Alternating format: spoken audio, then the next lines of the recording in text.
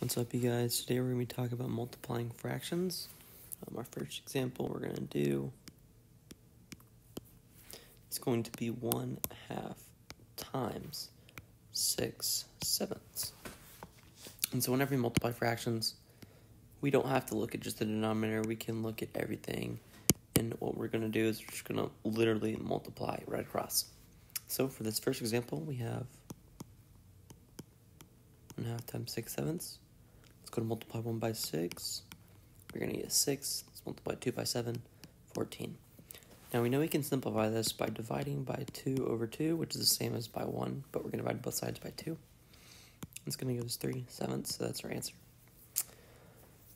Also, when doing this, it's helpful sometimes to look at the um, diagonals um, and the equations. So in this case, you could have already simplified this by dividing by 2 over 2 and getting a 3 and a 1, and this would just be 1 times 3 is 3, 1 times 7 is 7, 3 sevenths. So if you can simplify before, do that. And if, likewise, if these simplify, then you by all means do that.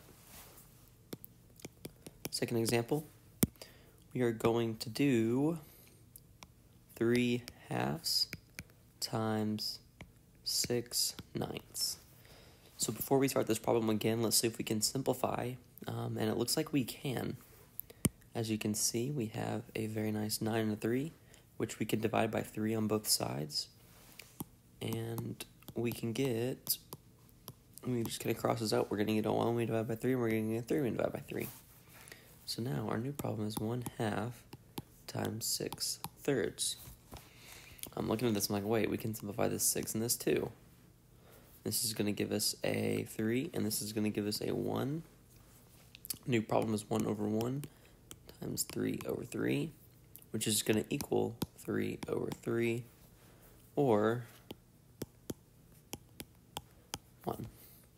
And so if you go in your calculator and you plug this in, you'll see that these are, um, when multiplied together, they give you 1. And yeah, that's multiplying fractions. Big takeaways.